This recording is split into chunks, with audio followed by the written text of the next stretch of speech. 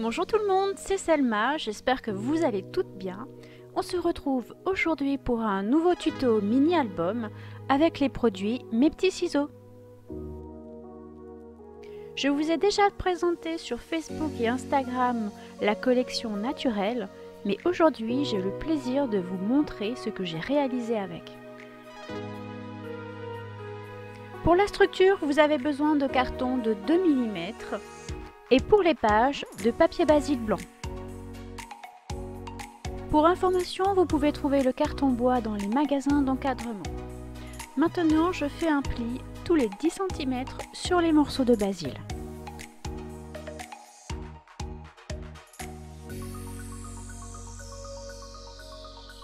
J'ai réalisé l'opération sur les 4 morceaux de la même façon.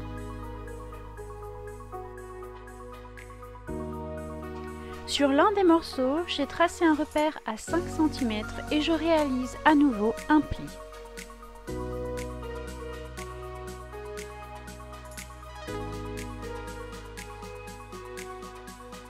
Je souhaite maintenant faire une découpe en diagonale. Je prends un autre repère à 5 cm avant de couper.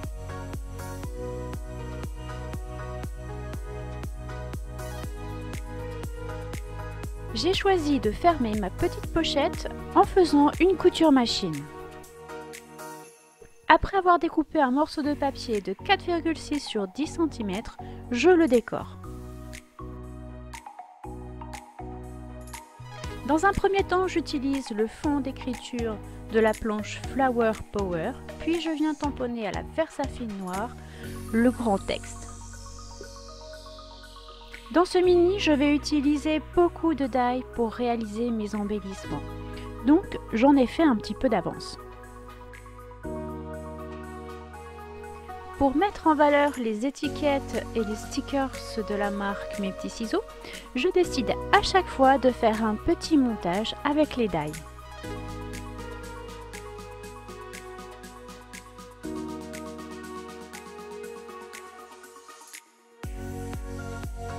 Dans un premier temps, je réalise le collage de mes petits die. Puis, je vais choisir une petite étiquette stickers pour la coller par-dessus. Personnellement, je suis complètement fan de ces petites étiquettes stickers. Elles se glissent partout et tellement facilement, c'est hyper agréable de scraper avec. Ma petite déco est maintenant terminée. C'est Mimi, non? Je vous montre maintenant la décoration d'une page. Comme tout à l'heure, j'utilise le même tampon pour réaliser quelque chose de léger. Puis je reviens avec la Versafine noire pour apporter un petit peu de profondeur.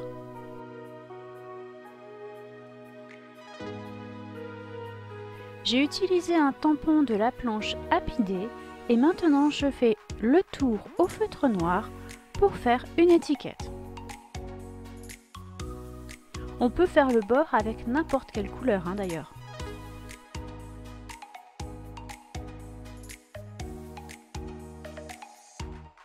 J'apporte une petite touche de peps en mettant mon étiquette sur un papier vert. Si vous me suivez, vous savez que j'aime faire des petites superpositions.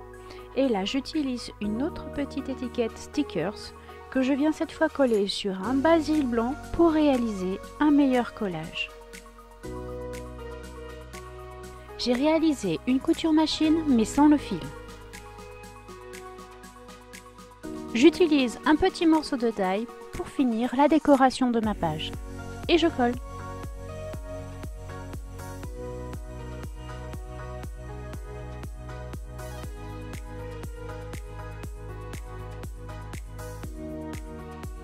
Après avoir découpé un morceau de papier de 14,6 sur 4,5, je trace un repère. J'ai réalisé une fausse couture à la machine et je positionne maintenant le masking tape. Je souhaite montrer que la petite bordure à pois jaune car la couleur est parfaite pour la série de papier. Comme tout à l'heure, je réalise un léger fond de page sur mon basil blanc et je reviens après par-dessus avec de la Versafine noire. Je ne colle pas directement ma photo car je souhaite regarder où est-ce que je peux placer au mieux les tampons que je fais à la versafine noire.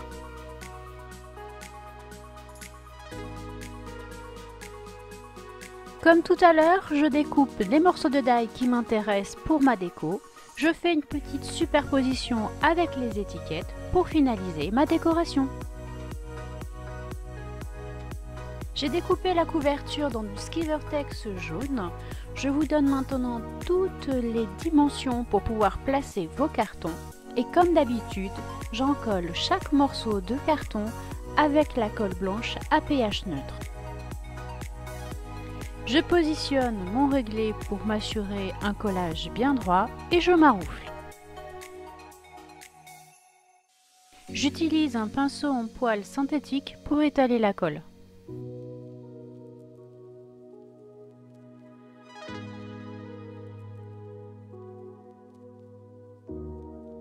Avec le plioir, je marque les rembords, puis je viens découper les angles avant le collage.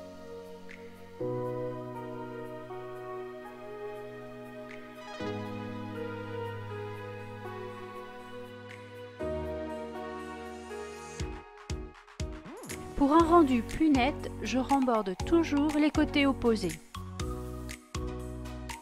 Ce mini possède une double charnière. J'ai décidé de le réaliser toutes les deux avec le même papier. Donc je procède par ordre, les fentes les unes après les autres et je m'applique.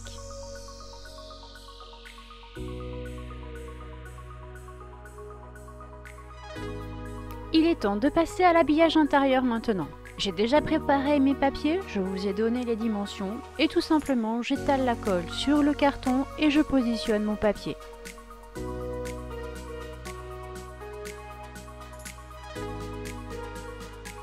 Mon mini s'ouvrant en deux parties, j'ai décidé de faire deux charnières, donc des trous de chaque côté dans les charnières.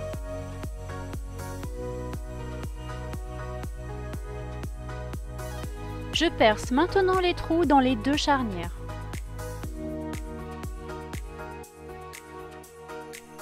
Évidemment, il faut faire les trous aussi dans les pages, mais attention à ne pas se tromper de charnière, car la moitié sera percée à gauche et l'autre moitié à droite.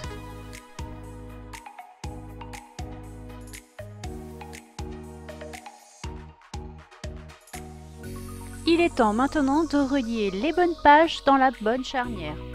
J'ai simplement utilisé une ficelle blanche et réalisé un nœud le plus haut et le plus près possible du trou pour éviter qu'il ne se voie.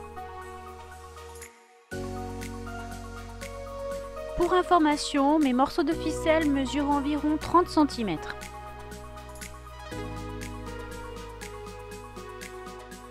J'espère que vous avez aimé la technique de la double charnière. Ce tuto est bientôt terminé, mais avant de vous laisser découvrir euh, l'intégralité de ce mini, je souhaite savoir quelle est votre collection de papier préférée, ou celle que vous aimeriez que je scrape la prochaine fois. J'ai hâte de lire vos commentaires maintenant. Alors comme d'habitude, je vous laisse en description tous les liens vers mes réseaux sociaux, ainsi que les liens des produits de la boutique Mes Petits Ciseaux. Comme ça, vous pourrez aller voir tout de suite le matériel. Euh, vous pouvez aussi vous abonner à ma chaîne si ce n'est pas déjà fait, c'est le bon moment pour le faire. Ou actionner la petite cloche des notifications afin de ne rien rater de mes tutos. Je vous dis à très bientôt et bon scrap